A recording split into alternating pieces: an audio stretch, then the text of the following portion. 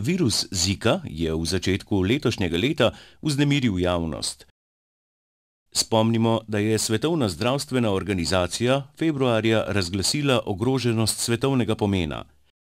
Ta virus je nevaren predvsem nosečnicam, saj lahko povzroči motnje v razvoju otroka.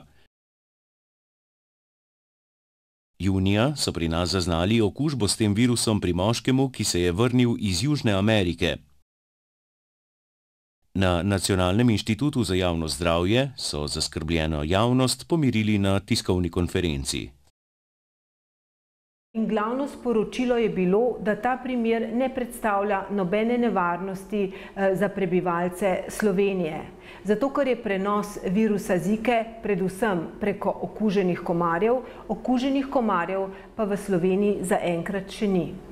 Seveda je možen tudi spolni prenos, eh, vendar eh, ravno zato je pomembno, da primere zaznamo in bolnikom damo prava navodila.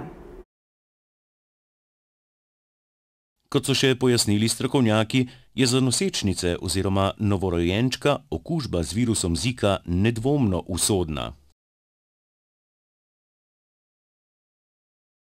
Posebnih novosti ni, pomembno pa je, da je zdaj povezava med virusom Ziko eh, in eh, okvarami novorojenčka, če se mati okuži v nosečnosti, nedvomno potrjena. Glede na to, da je čas dopustov, je dobro vedeti, kje so najbolj tvegani kraji za okužbo.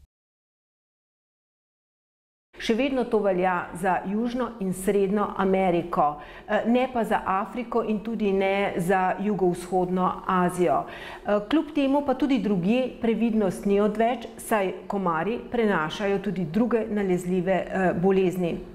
Eno poglavitno sporočilo je, da naj nosečnice ne potujejo v te predele, Za mnoge nalezljive bolezni, ki jih prenašajo komarji, obstajajo cepiva, kot naprimer za rumeno mrzlico. Vendar pa vas to ne bo obvarovalo pred vsemi virusi, ki jih prenašajo komarji. Še zlasti pa ne pred virusom Zika.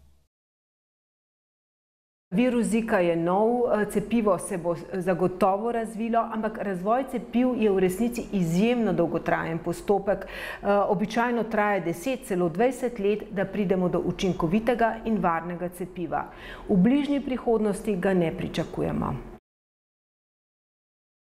Popolne zaščite pred piki komarjev ni.